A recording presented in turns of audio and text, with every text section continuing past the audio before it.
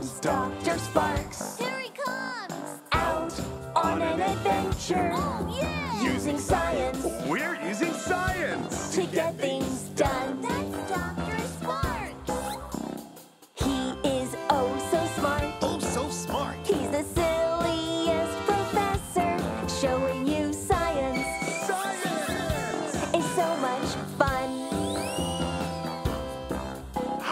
Does it work? What makes it go?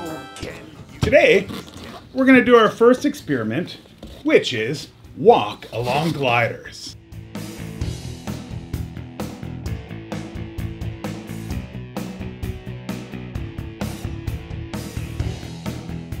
Our second mission pack is called Hoop Gliders. Our mission 3 mission kit. Today's kit is called Vortex Flyer.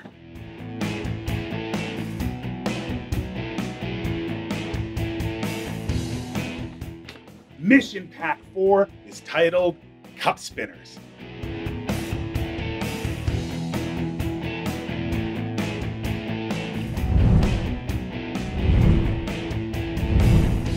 Kit number 5, which is Balloon Rockets. Two, one, launch!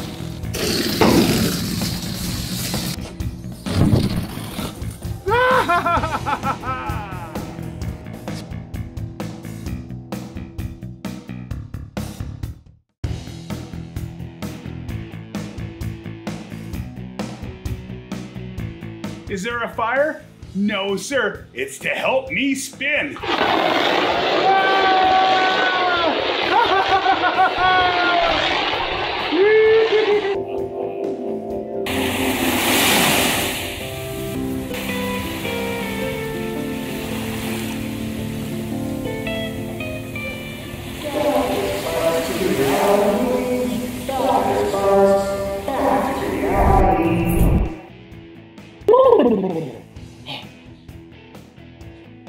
A chair?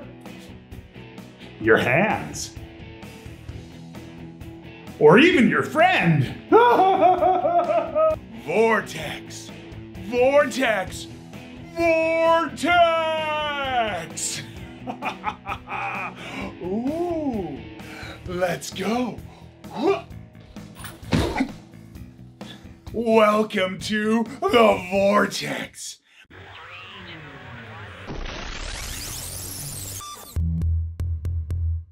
Fold the front line down. So just pinch it over the book like we did before. One side bends down and we want the other side to bend up. So turn your tinfoil over, put your template back on top, and line it up again. Now we have one side going up, one side going down. It is a rectangle. That means two sides are short and two sides are long. I want to cut this into three strips. So if it's nine centimeters wide, can you tell me how many times does three go into nine? Nine divided by three, let's see, three, six, nine. Yeah, three goes into nine three times. When we hold it, we're gonna make the letter C with our hands, kind of like we're holding a cup. So everybody pick it up like a cup and pretend like you're going to drink it. Mm, this looks tasty. Remember, the way that you wrap the rubber band around the cup is really important. Always start on the top, pull the rubber band towards yourself, and then wrap it under and over the cup again.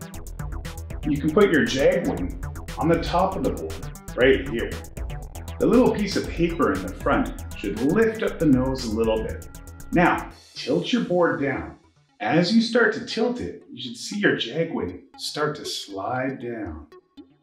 Your Jagwing will start to slide down. The air will deflect up, and your Jagwing will start to fly.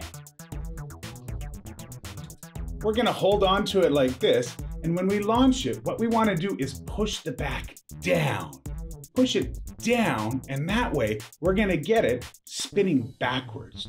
We want the tumblewing glider to turn quickly and fall slowly and straight.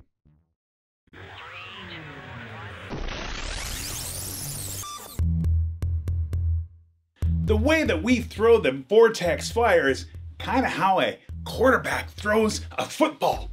Yeah! Yeah, when a quarterback throws a football, he gets that spin going on it. And that spin is what we call a spiral. That's one of the reasons why a football can be thrown so far. Let me get some spinning motion going beside me here, and I'll show you what I mean. Ah, check it out right over here. When they slow the air down over here, the air inside gets to be more. More air, more air pressure. Outside, there's less air, less air pressure. Inside, there's more air, more air pressure. And that's part of the key to getting our Vortex Flyer to fly really well. Do you know what this is? It's an elevator. Now we're going to add something to our Jagwing glider that helps it go up too.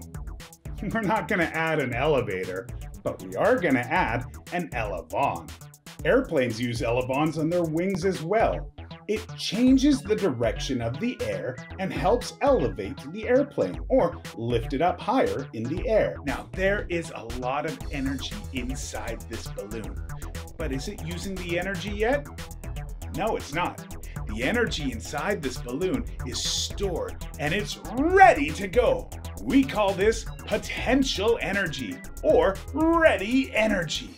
When we release the balloon, the potential energy is going to change into kinetic energy or go energy. And it's going to create the thrust we need to launch our balloon rocket. We're using science. That's Dr. Sparks showing you science.